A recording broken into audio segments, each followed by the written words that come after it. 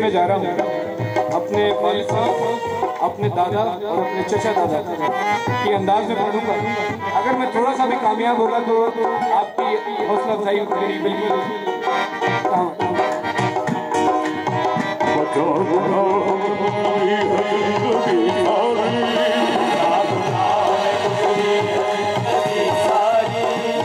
Oh